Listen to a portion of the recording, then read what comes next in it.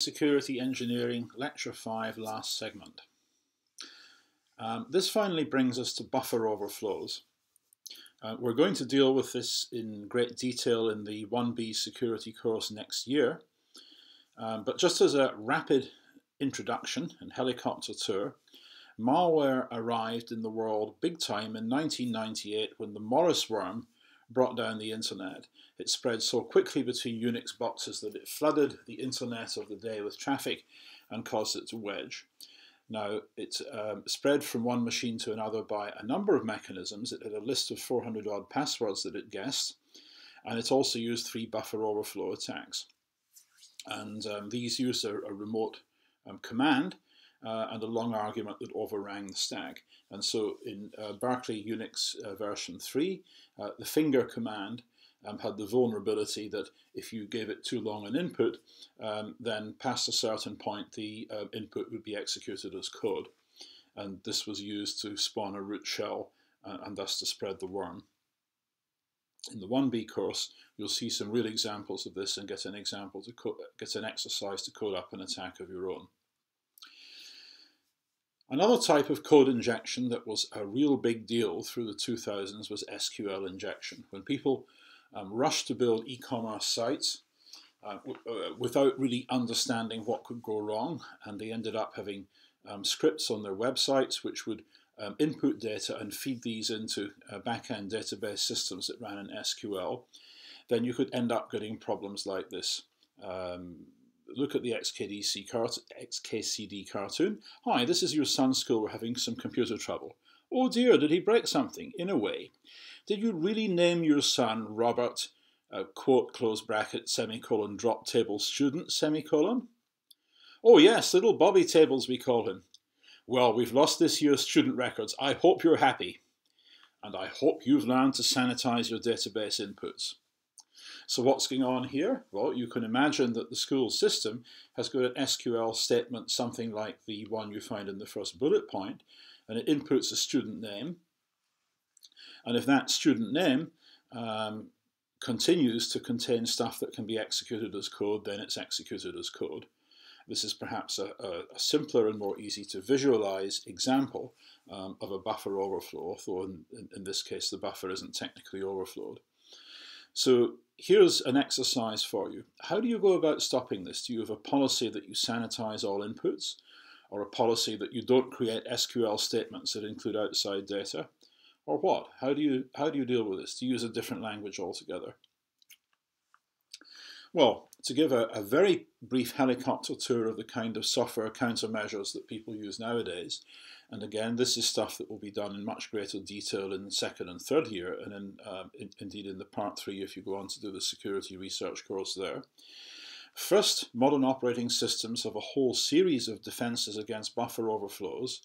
Just as you provide cars with seatbelts, you also um, understand if you're an operating system vendor that people will write dumb code and you do what you can to minimize the uh, consequences of user error, in this case programmer error.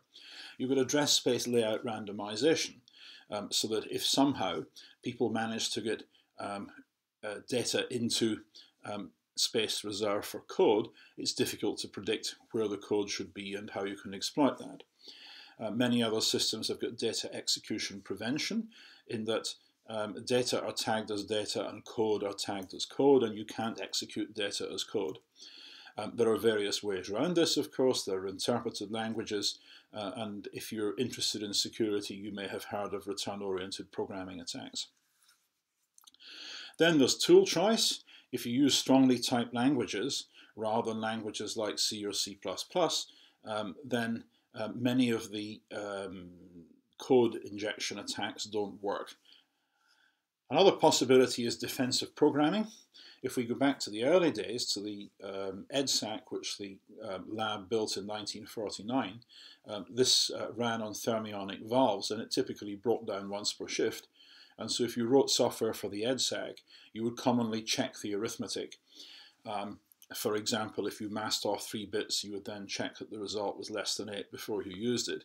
And if there was an error, you would throw an exception and get the um, operator to go and check the hardware. We do things like that sometimes when we're writing crypto code for smart cards and devices like that because we anticipate that the bad guys might try and fire laser shots at the smart card chips in order to get them to give wrong answers that are exploitable. Um, another way that you can do it with some modern programming languages is by means of assertions. Then, um, in addition to the stuff that you put at the platform level, there are secure coding standards.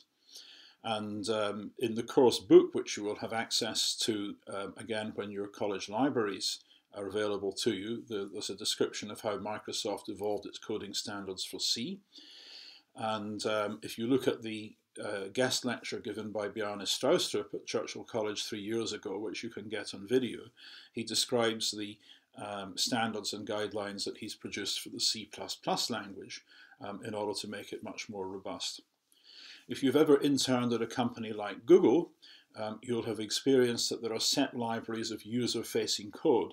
So you're not allowed to write your own input routines or your own JavaScript for websites. Um, there are specialist teams who do that, and you have to um, use the interfaces they provide. There's much else.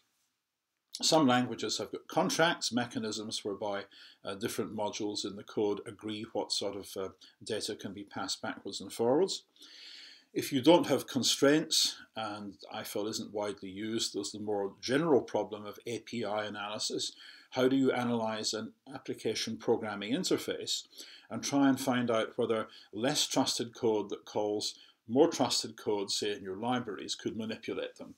Um, you always have to assume if you're writing a library uh, that it may be called by code that's under the control of the enemy. How do you go about dealing with this? Well, that's a subject in itself. Um, and finally, there's a whole series of analysis tools that professional software houses use when doing security testing and safety testing of their code, and which you will definitely come across once you work in professional practice. One approach is fuzzing. You throw large numbers of random inputs at the code and see if you can make something crash. And another is static analysis tools, of which perhaps the best known is Coverity. And um, if Coverity is run over C code that you've written, um, it will pull up lots and lots of ways in which your code deviates from secure coding standards, which you or other people can then look at to see if these lead to an exploit. Now this is of necessity only a brief helicopter tour, but it should give you some um, idea uh, of the amount of effort that people have to go to to see to it that you don't produce bugs in your code which leads to um, security failure, which lead to safety hazards, or which lead to um, a, a, critical real-time program um, suddenly um, losing synchronization or failing to meet its uh, real-time objectives.